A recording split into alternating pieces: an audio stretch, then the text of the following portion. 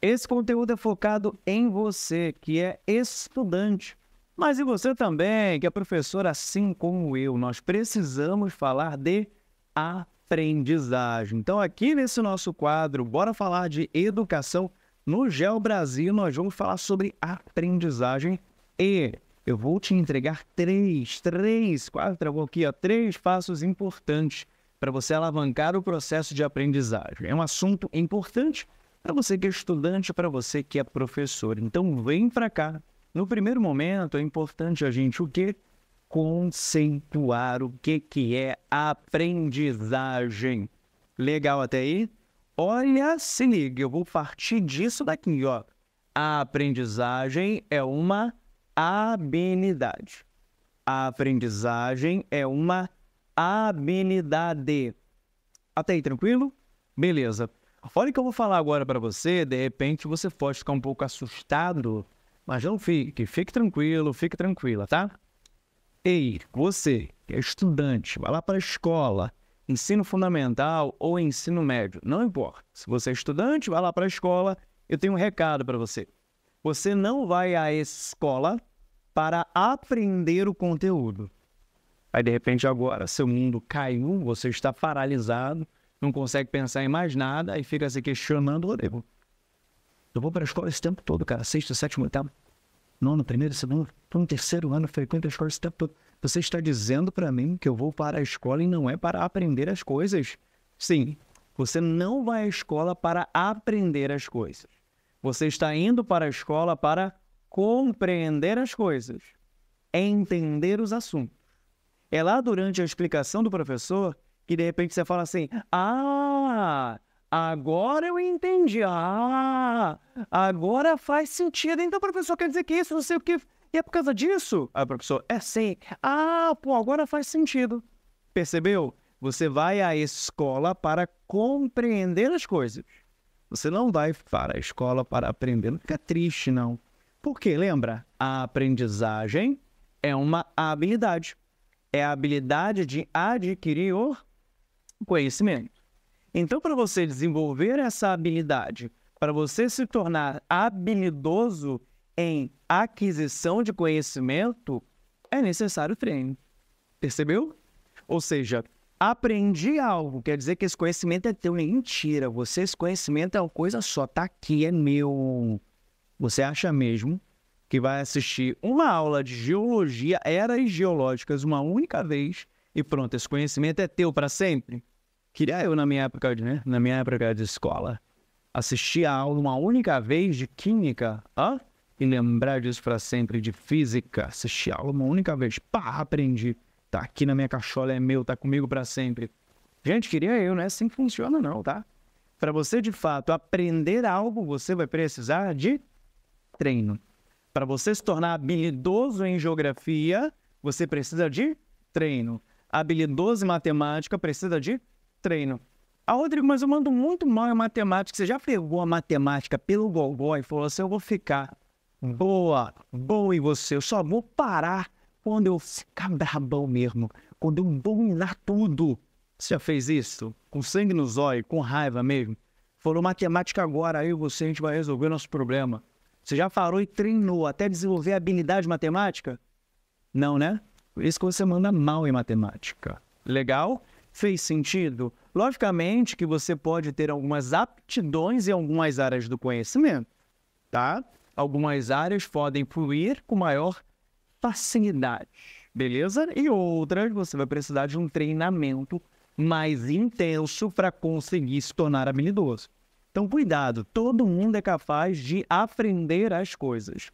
Para isso é necessário treino. E eu já vou falar um negócio para você. O nosso cérebro, ele vai aprender por dois caminhos, tá?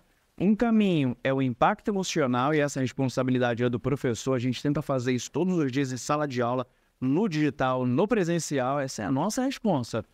E a sua estudante é revisão você precisa ter um sistema de revisitação do conteúdo. Sabe por quê? Porque o desafio, de repente, é aquilo que você está estudando em março, lembrar lá em novembro. É aquilo que você está estudando hoje, você precisa estar com esse conteúdo aqui na tua mente, ó, três, quatro, seis meses depois ele tem que estar tá fresquinho aqui. E para isso você precisa o quê? Revisar. O teu cérebro ele não quer lembrar de tudo. O processo de esquecer as coisas é um processo natural, faz parte. Então, todos os dias, teu cérebro fala assim: olha, isso daqui não é importante, joga fora, isso daqui não é importante, joga fora, isso daqui não é importante, joga fora. Opa, isso daqui é importante, fica. E para você conseguir dar essa valência de importância para alguma coisa, você precisa revisitar essa coisa algumas vezes. Anota aí, ó. O que eu não reviso vira pó. Desaparece, fumaça. Tipo bomba ninja, sabe? Desapareceu, gente. Se você não revisitar o conteúdo, ele vai desaparecer, vai virar pó. Foi embora. Legal até aí? Revisitar o conteúdo é importante. Só que de repente você está preso em um ciclo que é assim, ó. Você vai para a escola, compreende o conteúdo, chega a casa, não revisa e esquece. Vai para a escola de novo, compreende o conteúdo, chega a casa, não revisa, esquece. Vai para a escola, compreende o conteúdo, chega a casa, não revisa e esquece. Só que aí tem um momento que você faz isso daqui, ó. Vai para casa, opa, vai para a escola, né? Entende o conteúdo. Eu falei, cara, tá, é, é escola, né? Vai para a escola, entende o conteúdo, vai para a escola, entende o conteúdo, chega a casa, não revisa e esquece. Só que aí tem um momento que você vai para a escola, compreende o conteúdo, chega a casa, estuda, revisita e no outro dia você lembra. O que, que mudou? Entrou um ingrediente aqui. O que, que te fez chegar a casa e estudar? No outro dia tem? Eu sei que você já sabe. Ai, eu preciso estudar muito hoje, porque amanhã tem? Amanhã tem prova. Aí você quebra esse ciclo maldito e resolve estudar quando chega a casa. Então, quer melhorar nas disciplinas da tua escola? Vai para a escola, entende o conteúdo, chega a casa, revisita, lembra e vai para a escola e repete esse ciclo. Posso falar para você, isso vai potencializar a tua aprendizagem que você não tem noção. Algo simples que você vai mudar na tua rotina já gera muito resultado. Algo simples que você pode fazer agora também já vai gerar um impacto gigante na tua rotina, é dá uma olhada na descrição desse vídeo, você vai encontrar o link da Insider. Eu não sei se você percebeu, ó, mas eu estou com a minha Tech T-shirt da Insider e isso, meu amor, isso daqui é patrocínio, é parceria Gel Brasil e Insider. A Insider está no mês de outubro com muitas vantagens para você. Eu já aviso logo é o melhor mês do ano para você comprar na Insider. Eu quero fazer um convite. Aproveita o kit Tech T-shirt. Tem um montão de kit na Insider, mas eu gosto muito do kit Tech T-shirt. Aí você pode chegar lá, montar o seu kit com três Tech T-shirts, com seis Tech T-shirts de cores diferentes, tá? É a minha básica favorita, beleza? Ela desamassa no corpo ah, olha que maravilha, ela é anti-odor. É, meu amor. E ainda é feita com toda uma tecnologia sustentável. Você vai aproveitar e investir logo no kit. Chega no kit, sabe por quê? Porque a melhor condição do ano é agora em outubro. Outubro é meu aniversário, é dia do professor e eu vou te dar um presente também, dia das crianças, né? E tem um presente para você. Link na descrição é o meu link da Insider. Você clica nele você vai cair lá no nosso espaço Gel Brasil Insider e você vai utilizar o Gel Brasil 15, que vai te garantir já na cara, assim, ó, 15% de desconto. E dependendo ali do desconto que você ainda encontra no site, pode chegar a 40% de desconto. 40% é o momento do ano que você vai conseguir. Gel Brasil 15, somando com o que tem no site, pode chegar 40% é muita coisa. Hã? É tipo, cara, é quase metade. Vocês têm noção? O melhor custo-benefício não adianta. Você vai comprar qualquer camisa, lavou de motor, a Insider, meu amor. Isso não acontece. Vem na minha, eu já tenho meu kit, tá? Tô gravando aqui desse verde militar. Próximo vídeo eu vou colocar um azul marinho que é top, é chique, é elegante. Insider em Gel Brasil, aproveita melhor condição do ano é em outubro, meu mês de aniversário, mês do professor, mês da criança, e o presente é teu, tá bom? Recado dado, vem para cá e ajusta esses três elementos. Rodrigo, eu quero aprender mais. Rodrigo, eu quero melhorar minha memória. Rodrigo, eu não quero esquecer das coisas. O que, que eu faço, Rodrigo? Me ajuda, por favor. Claro que eu vou te ajudar. Ajusta esse item, esse item, esse item. Motivação. Você precisa ter clareza, lucidez do motivo do teu estudo. Por que, que você estuda? Qual o teu propósito com isso? Por que você acorda todo dia para ficar estudando? Tem que ter um objetivo. Ah, Rodrigo, eu estudo para passar na prova tal. Faz o seguinte, pega um papel em branco, aqui, ó. Escreve esse motivo e colhe algum lugar do teu quarto no qual você todo dia, quando acordar, vai visualizar esse motivo. É propósito, gente. Propósito vai te ajudar muito nessa caminhada rumo à aprovação, rumo ao desenvolvimento. Eu estudo todo dia, eu amo estudar. Hoje eu estou numa condição que eu consigo escolher o que eu quero estudar e aprender. Mas se eu consigo todo dia deliberadamente estudar, é porque eu sei do meu propósito. Eu entendo o propósito por trás dessa ação que eu realizo todo dia. Pegou a visão? Fez sentido para você? Legal. Outro ponto importante: atenção. A atenção é matéria-prima da aprendizagem. Sem atenção, sem aprendizagem. Então você vai estudar, dá uma olhada no teu ambiente. Elimine as distrações.